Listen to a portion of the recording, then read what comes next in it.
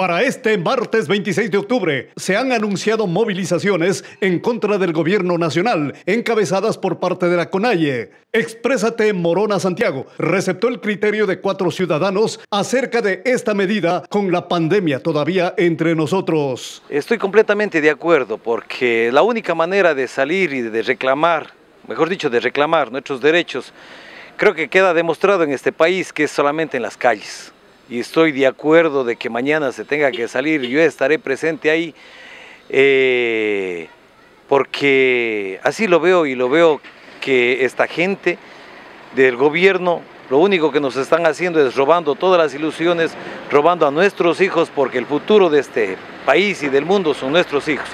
Entonces nosotros lo que vamos a hacer es salir a las calles para reclamar, porque no es posible que el combustible suba tanto el diésel a 1.90, la gasolina 2.55, la Eco País o la Extra que le llamamos normalmente, el combustible, eh, la super a 3 y pico de dólares.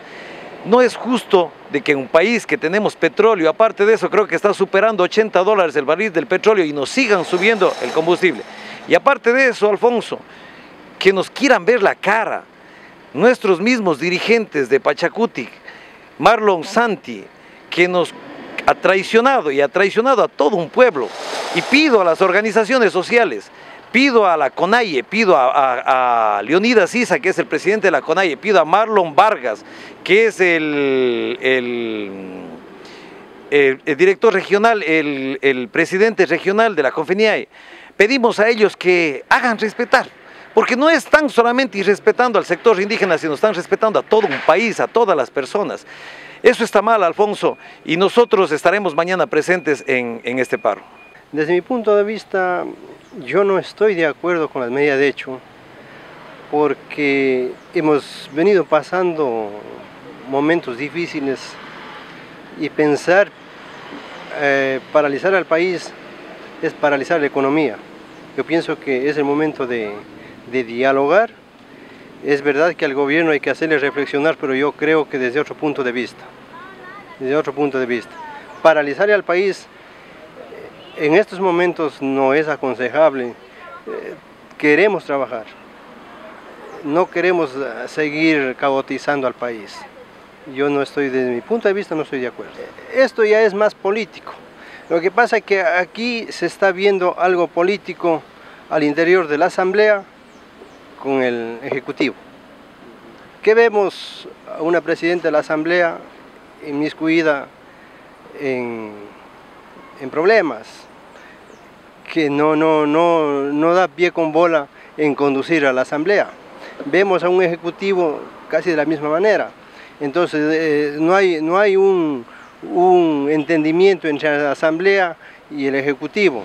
Entonces eso nos está llevando a que Pachacuti y la CONAI y el sector de las organizaciones sociales eh, están conduciendo a un paro para así ganar protagonismo para unas próximas elecciones y, a lo mejor eh, llamar la atención a la ciudadanía, pero yo creo que eh, por el momento nosotros, los que siempre, yo he sido un opositor, estado, he estado en muchas manifestaciones, pero hoy no, hoy queremos trabajar.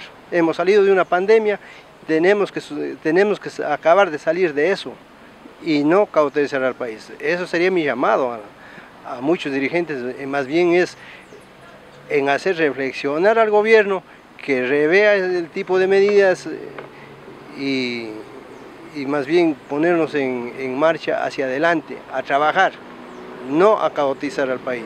La medida anunciada para el día de mañana con movilizaciones creo que es necesaria porque tiene que, hacer, tiene que levantarse la voz de alguna manera para hacerle, contra, hacerle contrapeso y hacernos sentir de que no estamos conformes de muchas maneras en las que se le viene llevando la administración del, del país. Esto no es un problema de Morona Santiago, ni de las cárceles, ni, ni siquiera de la pandemia. La pandemia lo único que está sirviendo es para escudarse todo el ente político, el ente administrativo, escudarse tras una crisis, porque la crisis económica ya comenzó mucho más atrás de la pandemia. La pandemia les descayó de, como anillo al dedo a estos señores.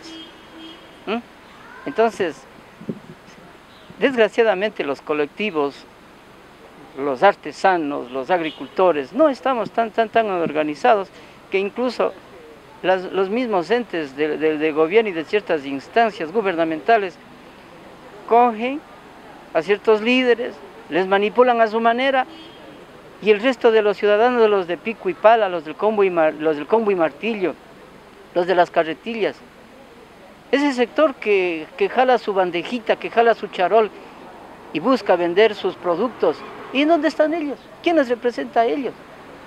todos los municipios con unas ordenanzas que todo es un centavo de recoger dinero donde más se pueda.